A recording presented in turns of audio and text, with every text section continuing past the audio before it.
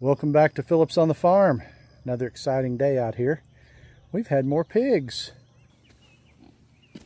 Our biggest pet, Pearl, she was the show pig from last summer for a friend of ours' son, has finally had a litter of pigs. She's got eight this morning. We're so excited. This is her first time as a mama. She is doing great. Karen, hold up the little piggy. They're adorable. They're half pearl and half Idaho pasture pig. So we've got this round of eight. And we got this little round over here. Six. There's six of those. There's five there and the other one's a rambling man. He uh, he wanders off. He's probably over behind the water or there. But uh, those are a couple weeks old now. Not quite, not almost two weeks old. No, They were born first of last week, right? they were born Monday.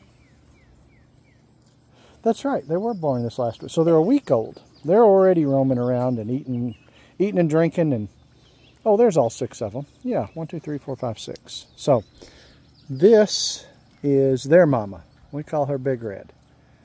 So uh, she had had one piglet when we bought them, and those piglets were, or that piglet was about um, 15 pounds or so when we got her. The lady that owned them before us had sold all the rest and just had the one. So when we got this Idaho pasture pig and whoop, whip the camera around, that one right over there, and whip the camera around again, the boar that's up there, we got four pigs.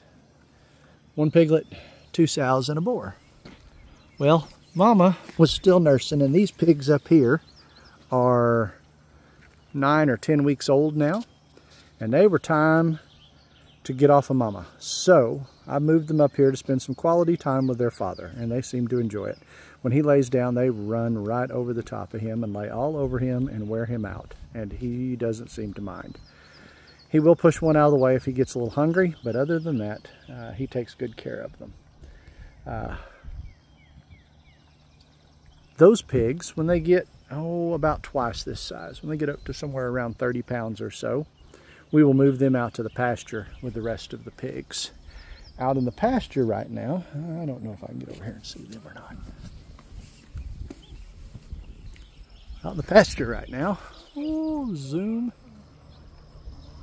We've got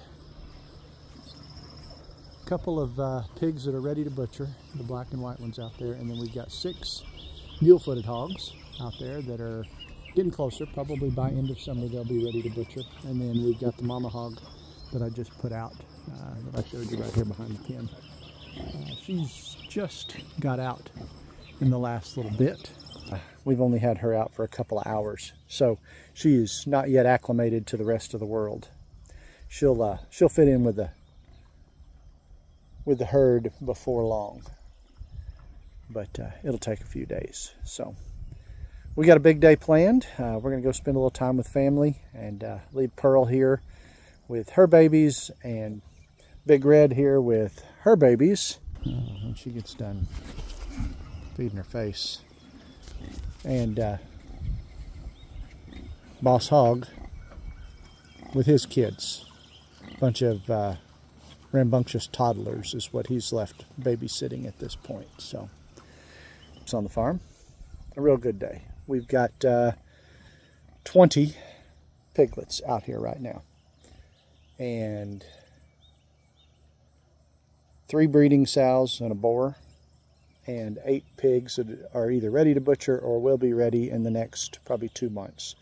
They're out on full pasture right now. So we also feed them some grain every day all the water they want, and they've got plenty of grass and everything else that they can root up out here in this probably three acres, I'd say I've got fenced in out here. So they're having a good time anyway. Thank you all for stopping by Phillips on the farm. I'm going to go ahead and get this one posted pretty quick. We, uh, we're looking forward to these good days ahead with lots of pigs. We love you guys. Stop by and see us. Phillips on the farm. Take care. God bless.